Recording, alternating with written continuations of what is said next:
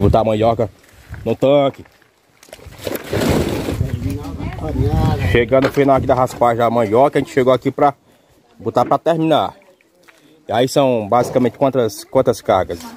16 cargas. Eita, aí foi numa F4 mil, caminhão. Foi. Botou foi pra gerar. Acabar. Mandioca de quem era? Mandioca de. Totonho. Aqui pessoal, deixa eu mostrar aqui pra galera a mandioca do, do compadre Totonho, lá no alto do, dos apertados. Não tem mais mandioca não.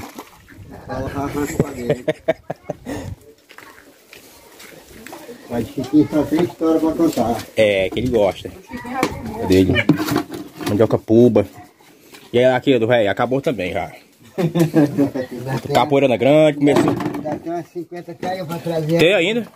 Começou aqui o- umas 10 arrancas e depois começou aumentando. Aí a mandioca começou a diminuir, começou a diminuir. E botou só pra pubar, E agora tá crescendo de novo. crescendo de novo. Mas a mulher parece que não gostou da mandioca puba não. Queria era farinha branca. Próximo a gente faz branco. Aí. Aqui essa mandioca é de alta. É, serrote. Serrote. diferente. Hum. Aí três dias na raspagem, direto. Serrote do Ralcinho. Olha, rapaz. Que é mandioca pra demorar muito tempo mesmo, viu? Aqui é o que? A Guarani, é? Guarani. Guarani de alto. Aí é de um ano e meio essa roça aí? Aí, mas o terreno é ruim, tá na pedra. Hum, pois tá certo. Isso aí, galera. Vou mostrar aqui o, a- o capote. O capotinho tá pequenininho aqui. Mas já tá quase no final. Daniel também aqui metendo o cutelo para poder terminar ver. E a Marielle tá aqui, ó. Marielle não pode faltar na resenha da farinhada.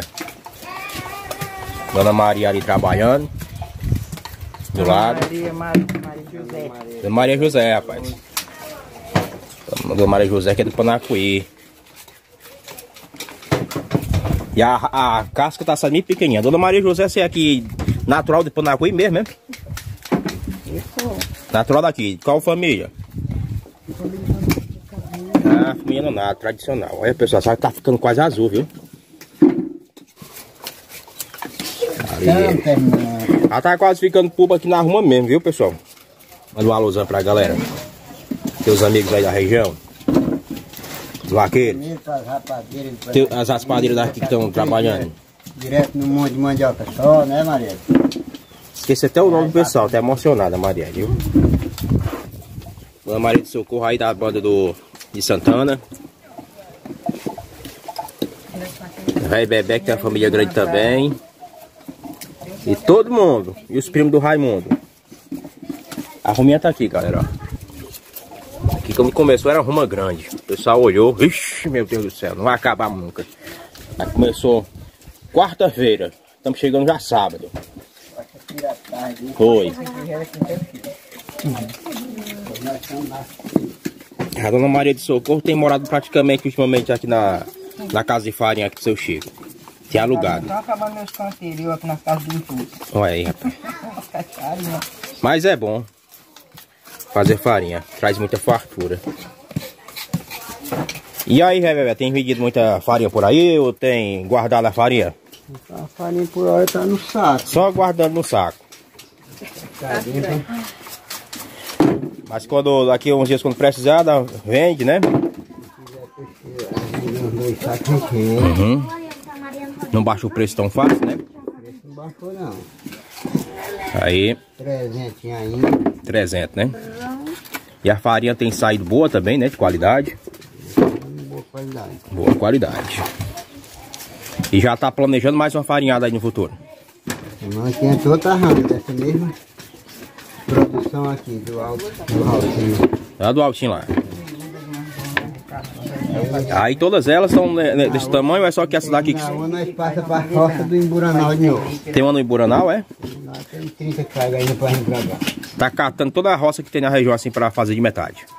A outra é nossa, né? Tá comprando, né? Comprando também não só pela farinha, mas também pela alimentação do gado, né? Semana a gente tira essa aqui de metade, na outra outra arranca. Aí vamos passar pra nossa de novo. Hum, aí tem ainda um bocado no alto lá, né?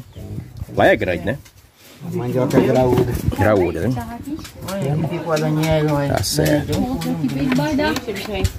É, aqui, ó, que ficou ele, olha. Tô aí, galera, vai ficando a fartura aqui do lado, olha. Quem faz a farinhada vai deixando aqui. Um saco de farinha tá aí em média de 270 a 300 reais. Quem faz farinhada no sertão já vai. Muitos deles vão vendendo. Aqui, olha, o forno onde foi feita o trabalho de secar a goma, porque o processo todo aqui é longo. Tira a goma, às vezes, coloca naquele tanque, bota para secar e passa as noites, vira a noite aqui secando no forno para poder ficar boa para vender. Olha aí, como tá essa gominha aqui. A goma não é à toa que está na região a mais de 500 reais até 600 reais um saco de goma por aqui.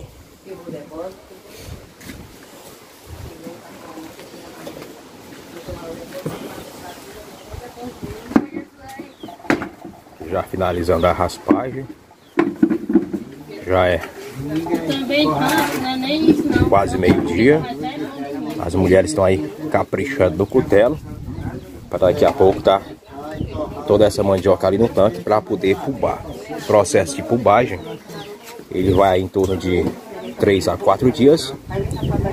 Já tem mandiocas aí já, que já tem praticamente dois dias que estão dentro do tanque. E vai misturar aí com essa que já tá lá. Essa mandioca aí que já tem mandioca que tá com quase dois dias aí dentro, não tem? Não, foi dado ontem. Foi ontem. Aí não tem problema não, né? Misturar.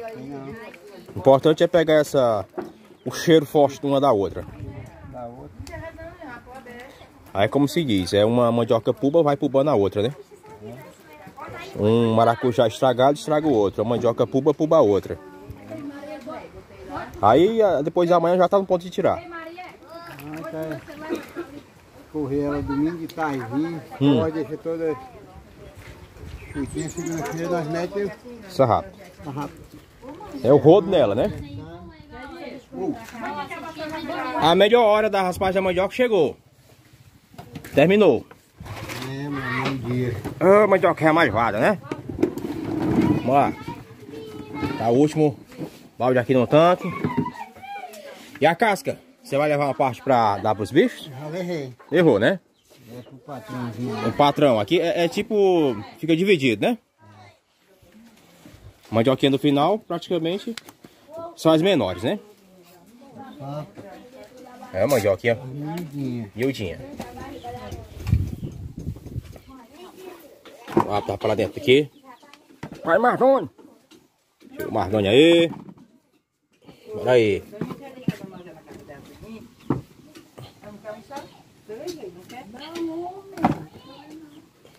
Aí, muito obrigado.